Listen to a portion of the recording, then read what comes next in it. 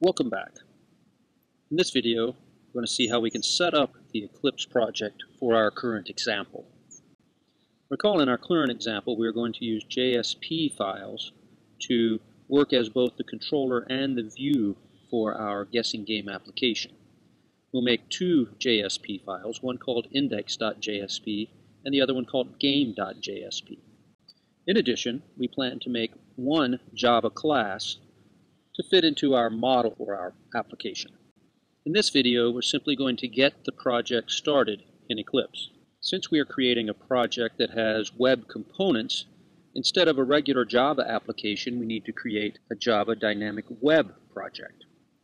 To do that, select File, then New, look through the list of types of projects, and if you do not see Dynamic Web Project, click Other. If you see that already, you may check that. Under Other, we get the full list of things that can be selected to create. Notice if you scroll down and you open the Web folder, you'll see that Dynamic Web Project is part of that. Once you've selected Dynamic Web Project, hit Next. We then have a series of dialog boxes that we need to fill out in order to create our application.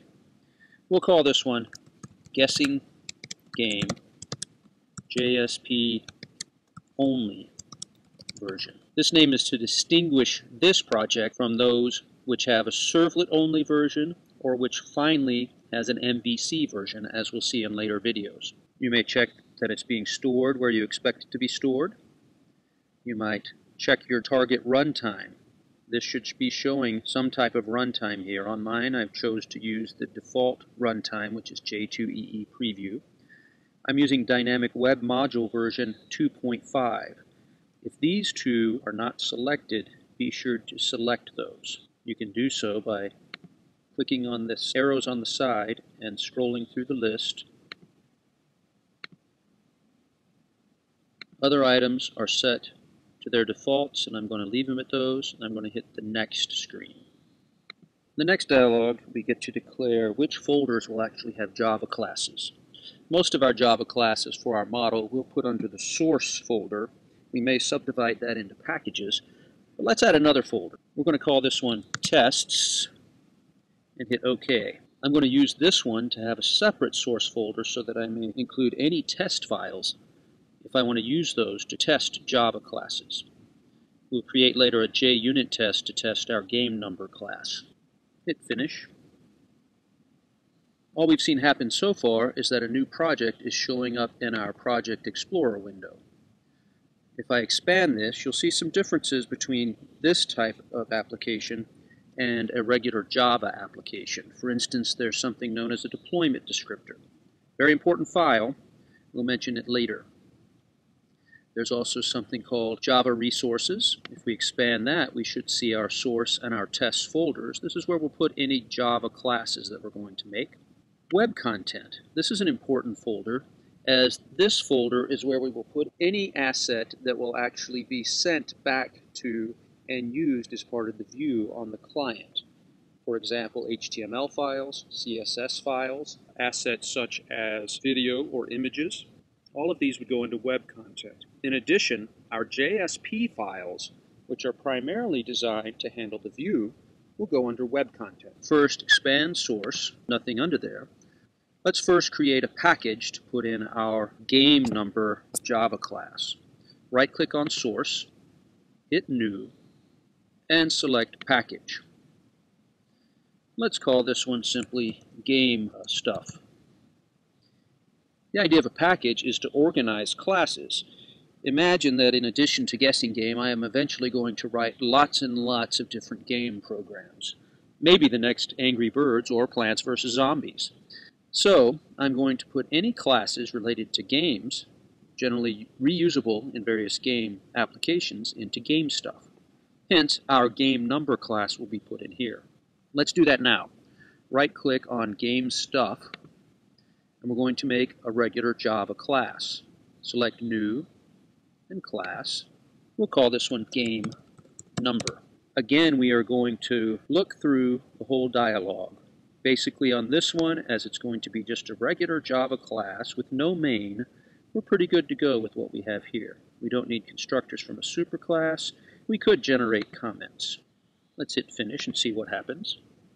So our game number file has been created. In this video, we're just going to make the stubs of each file. We'll come back in separate videos to create each component. So let's close that out for now. Let's move down to web content. Here is where we want to put our JSPs. Recall I mentioned earlier in this video that the JSP file is a web component. Right-click on web component itself. Be careful not to right-click on meta-inf or web-inf. That's a common error I find with my students. Right-click on web component, select new, and this time we want a JSP file.